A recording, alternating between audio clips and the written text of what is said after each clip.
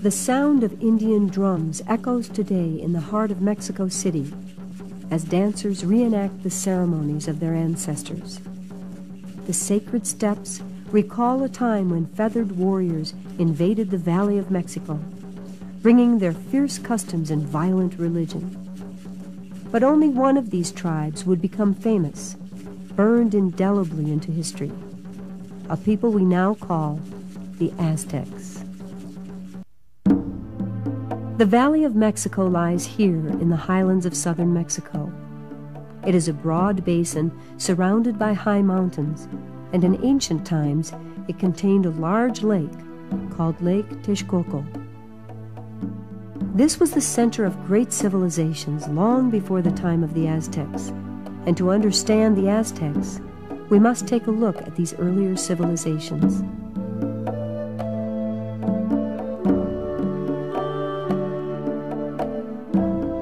Set on a broad plain in the Valley of Mexico, ancient Teotihuacan is one of the most striking sights in the world. When the Aztecs found these ruins, they were stunned by the enormous pyramids, the rows of temples, and the broad avenues.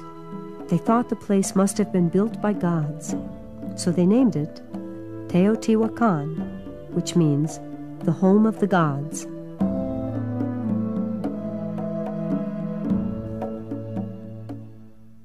As this model shows, the palaces and plazas were laid out in perfect order on each side of a grand avenue. The city must have struck awe in the minds of the Indians who saw it for the first time. On festival days, they could climb the Great Pyramid of the Sun, which loomed like a mountain over the city. It was made of millions of mud bricks covered with a layer of volcanic rock. Looking down from the top of the pyramid, one could see the city laid out. At its height, in 650 AD, some 200,000 people lived here, sprawled over eight square miles. They lived in apartment houses connected by narrow streets and alleys. It has been estimated that there were about 3,000 apartment houses with 60 to 100 people living in each house.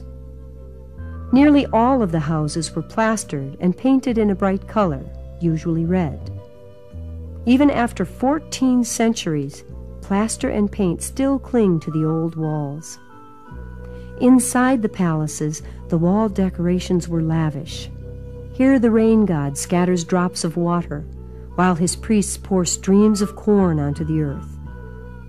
This goggle eyed god, covered with corn, was called Tlaloc, he was the god of rain and harvest, while this is Quetzalcoatl, the feathered serpent, a god that is half bird and half snake. These were two of the most important gods, not only in Teotihuacan, but throughout Mesoamerica.